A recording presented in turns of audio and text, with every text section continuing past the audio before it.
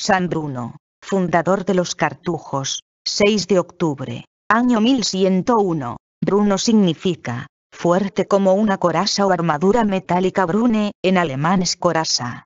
Este santo se hizo famoso por haber fundado la comunidad religiosa más austera y penitente, los monjes cartujos, que viven en perpetuo silencio y jamás comen carne ni toman bebidas alcohólicas. Nació en Colonia, Alemania, en el año 1030. Desde joven demostró poseer grandes cualidades intelectuales, y especialísimas aptitudes para dirigir espiritualmente a los demás. Ya a los 27 años era director espiritual de muchísimas personas importantes. Uno de sus dirigidos fue el futuro Papa Urbano II. Ordenado sacerdote fue profesor de teología durante 18 años en Reims, y canciller del señor arzobispo, pero al morir este, un hombre indigno, llamado Manasés, se hizo elegir arzobispo de esa ciudad, y ante sus comportamientos tan inmorales, Bruno lo acusó ante una reunión de obispos, y el sumo pontífice destituyó a Manasés. Le ofrecieron el cargo de arzobispo a nuestro santo, pero él no lo quiso aceptar, porque se creía indigno de tan alto cargo. El destituido en venganza, le hizo quitar a Bruno todos sus bienes y quemar varias de sus posesiones. Dicen que por aquel tiempo oyó Bruno una narración que le impresionó muchísimo. Le contaron que un hombre que tenía fama de ser buena persona, pero que en la vida privada no era nada santo, cuando le estaban celebrando su funeral, habló tres veces. La primera dijo, he sido juzgado. La segunda, he sido hallado culpable. La tercera, he sido condenado. Y decían que las gentes se habían asustado muchísimo y habían huido de él y que el cadáver había sido arrojado al fondo de un río caudaloso. Estas narraciones y otros pensamientos muy profundos que bullían en su mente, llevaron a Bruno a alejarse de la vida mundana y dedicarse totalmente a la vida de oración y penitencia, en un sitio bien alejado de todos teniendo todavía abundantes riquezas y gozando de la amistad de altos personajes y de una gran estimación entre la gente, y pudiendo, si aceptaba, ser nombrado arzobispo de Reims, Bruno renunció a todo esto y se fue de monje al monasterio de San Roberto en Molesmes. Pero luego sintió que aunque allí se observaban reglamentos muy estrictos, sin embargo lo que él deseaba era un silencio total y un apartamiento completo del mundo. Por eso dispuso irse a un sitio mucho más alejado.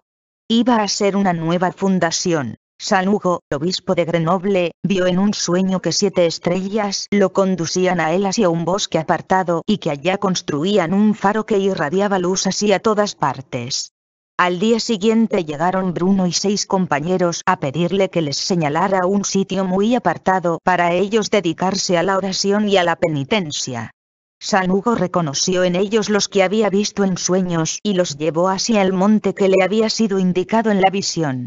Aquel sitio se llamaba Cartuja, y los nuevos religiosos recibieron el nombre de cartujos. San Bruno redactó para sus monjes un reglamento que es quizás el más severo que ha existido para una comunidad.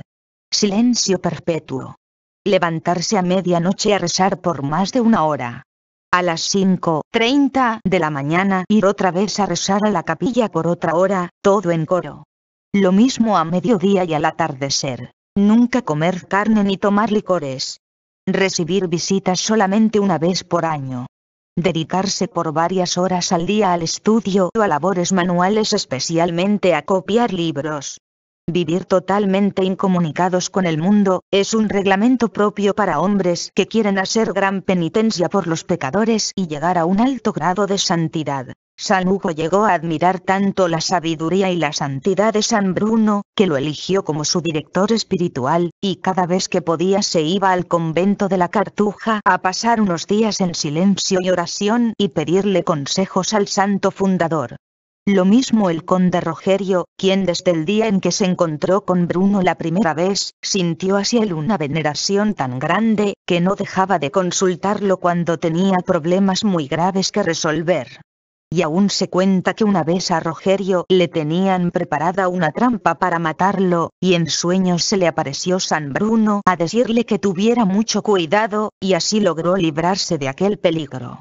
Por aquel tiempo había sido nombrado Papa Urbano II, el cual de joven había sido discípulo de Bruno, y al recordar su santidad y su gran sabiduría y su don de consejo, lo mandó ir así a Roma a que le sirviera de consejero.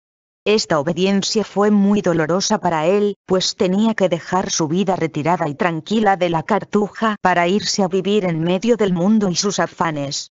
Pero obedeció inmediatamente.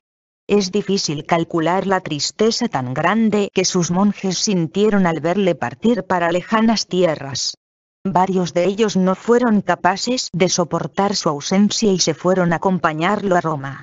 Y entonces el conde Rogerio le obsequió una finca en Italia y allá fundó el santo un nuevo convento, con los mismos reglamentos de la cartuja. Los últimos años del santo los pasó entre misiones que le confiaba el sumo pontífice, y largas temporadas en el convento dedicado a la contemplación y a la penitencia.